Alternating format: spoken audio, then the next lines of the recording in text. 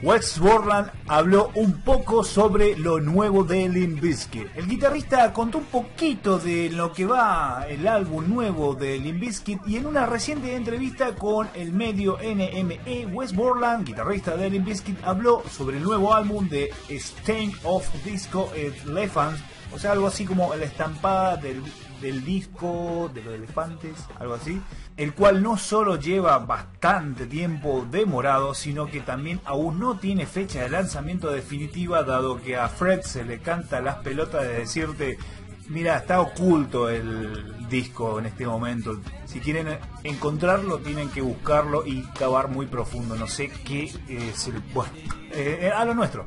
Eh, no lo sé, dice Wes Borland, hice de mi parte en los últimos años y creo que Fred está tratando de descifrar, entre comillas, qué es lo que va a hacer. Sé que está trabajando en el nuevo disco en este momento, pero no estoy seguro qué es lo que está haciendo. Básicamente estoy esperando que él termine algo para que yo pueda tomarlo y comenzar a editarlo, remixarlo y convertirlo en lo que sea que vaya a hacer. Hicimos tantas sesiones, hay 28 o 29 canciones aproximadamente, y las que elija para hacer la parte vocal, yo luego tomaré y trabajaré en ella en mi casa hasta convertirlas en un álbum.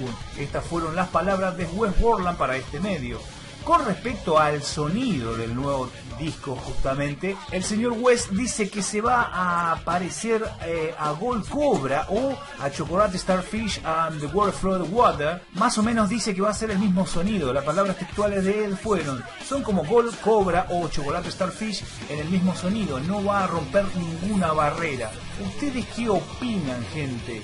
Para mi punto de vista, como buen seguidor de esta banda, eh, no sé qué se le pasa por la cabeza al señor Fred Durst porque lo sigo en Instagram y la verdad que los videos que pasa son muy flasheros. Pero en fin, es solamente la opinión de quien le sirve en este canal a ustedes. ¿Ustedes qué opinan? Déjenmelo en la caja de comentarios de manera respetuosa.